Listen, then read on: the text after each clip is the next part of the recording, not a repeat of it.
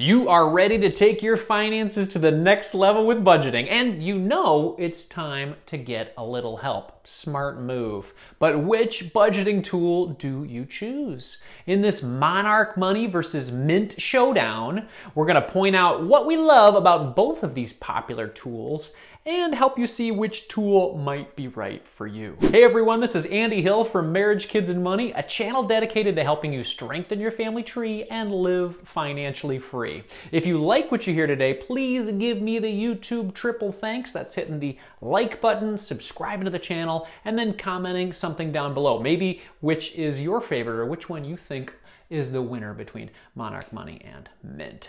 Now, if you decide to try either one, Monarch Money or Mint, please use our links in our video description as it supports this channel. Thanks. Okay, who is Monarch Money? Well, Monarch Money is a personal finance app that flew to our fingertips in 2020. Startup veterans Val Agostino, Joe Sutherland, and Ozzie Osman co-founded this finance tool to help you win with money. Evidently, uh, Val Agostino was the first product manager on the original team that built Mint.com, so unpack whatever fintech world drama you like there.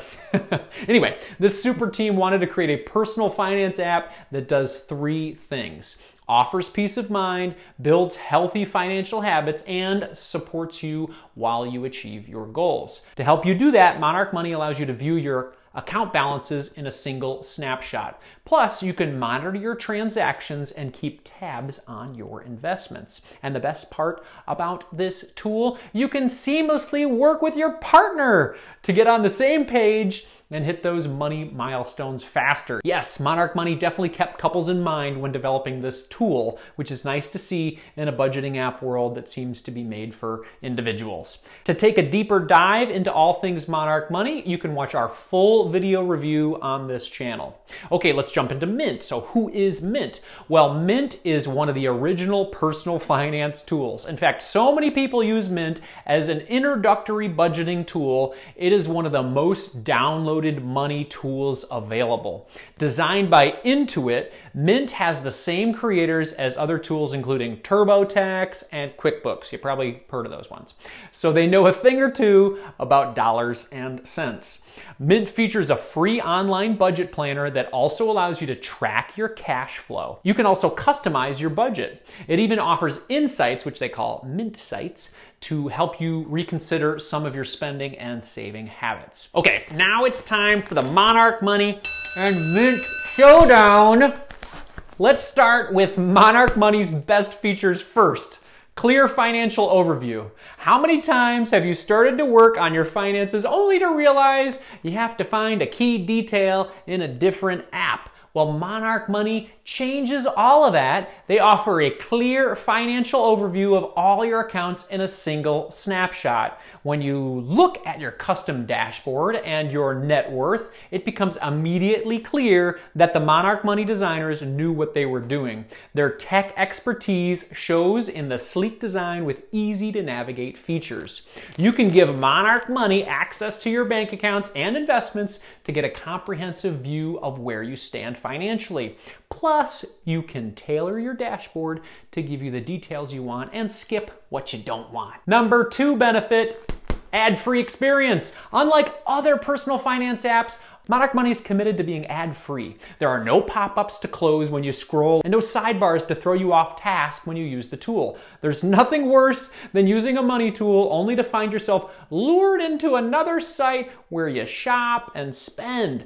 Of course, we understand that some people have no problem looking right past ads, but we really appreciate the sleek, distraction-free feel of Monarch Money. Number three benefit, no sales pitch. Some finance platforms that feature similar tools come with a sales pitch. When you cross a certain financial benchmark, the company reaches out to users offering a paid investment service.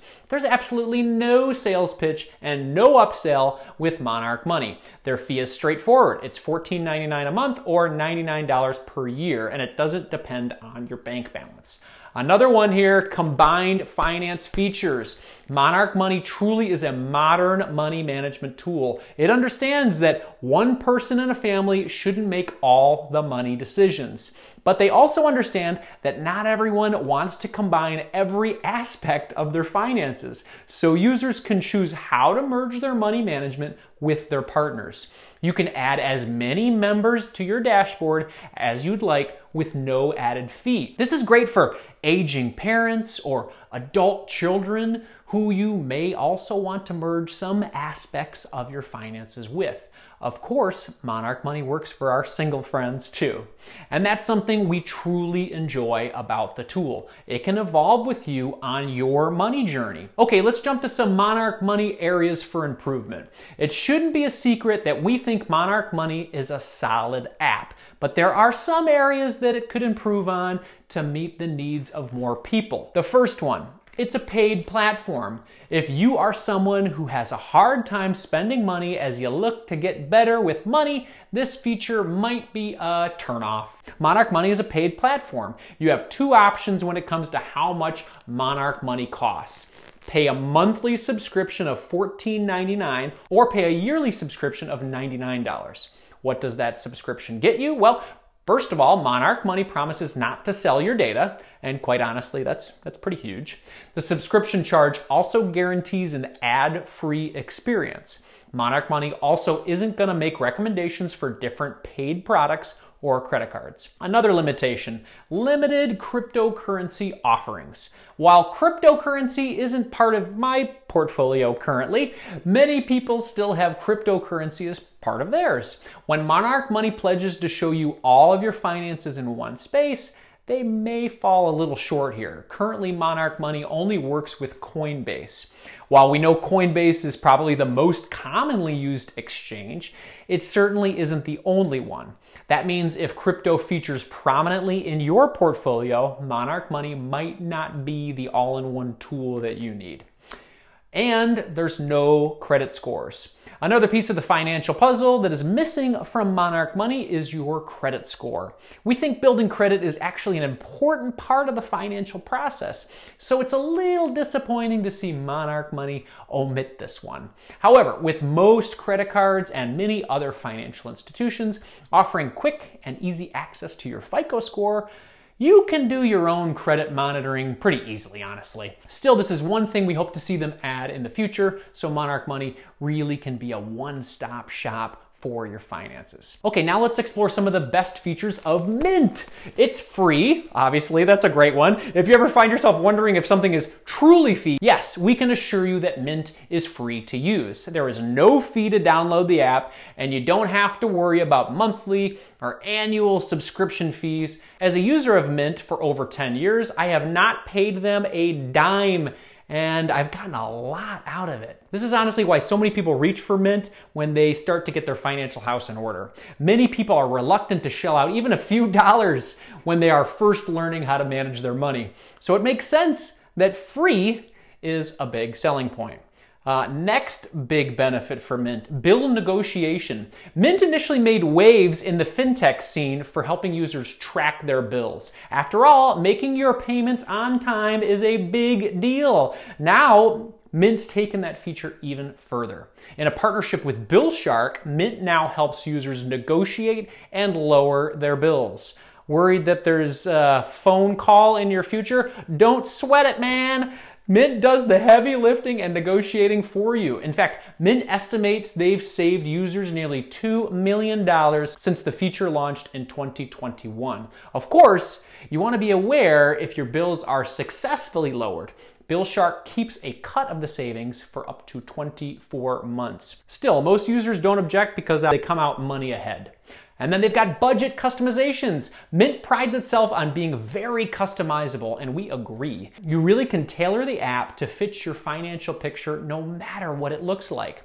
When you first set up your account, you'll be prompted to create a budget. Mint starts off with suggestions that are common for many people. For instance, it will prompt you to set up a transportation category. You will get a suggested amount, and then you can adjust it based on your needs. Eventually, you can open up a category called Everything Else. This is a catch-all category and it'll contain your other spending transactions. You want to review them and then you can reassign them as needed. or they can stay put. It's worth noting that this is not a quick process, but many users, including me, say it's really meaningful. It serves two purposes. You can thoughtfully review your spending to get a sense of where your money went previously, plus, you can be more intentional about the categories in your budget. This should give you a good sense of why this tool is a budgeting favorite. Now let's talk about Mint's areas for improvement here. It's kind of a cluttered experience. One of the trade-offs for free tools is the fact that the user experience is not as sleek, right? Mint started with a lot more advertising than it currently has, but you should know that it does run on ads and product recommendations. Similar to apps like Credit Sesame, Mint will show you the financial information you want to know, and it will also recommend things for you to buy or sign up for. The idea is that these recommendations will help your financial situation, but we think it can make for a cluttered and sometimes overwhelming experience. Still, this might be worth it if you're looking for a truly free fintech tool. Another area of improvement would be setup time. If you're imagining downloading the app, creating a username, and starting a budget right away, uh, think again.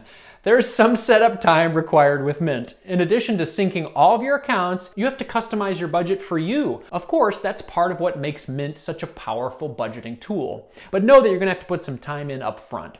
Additionally, you may find that Mint mislabels some transactions. Users say that they have to sometimes go in and redo their budget categories to keep everything in its proper place. For a 10 step walkthrough on how to set up your free Mint budget, I have a detailed video in our video description. It kind of looks funny with me pointing with the gloves, but it's down there. Okay, ding, ding, ding, baby. What's our final verdict on the Monarch Money versus Mint showdown? Well, there are so many great budgeting apps on the market today. As much as we love Mint for its OG status, there's even more that we love about Monarch Money. If we had to declare a winner in the Monarch Money versus Mint showdown, we'd go with Monarch Money. The combination of a really sleek interface and thoughtful user experience has it inching out ahead. Then the fact that you can so seamlessly add a partner, an adult child, a parent, or anyone else to your dashboard pushes Monarch Money over the finish line first. This financial tool can grow with you throughout your money journey. Of course, the key is to pick the tool that best suits your needs. And honestly, we're just thrilled you watched this far because it means you're really ready to improve your financial picture with the power of budgeting, no matter which tool you choose. Ah! Well, enough from our side, everyone. We want to hear from you. Do you have a favorite budgeting tool? What do you think about this Monarch Money versus Mint showdown?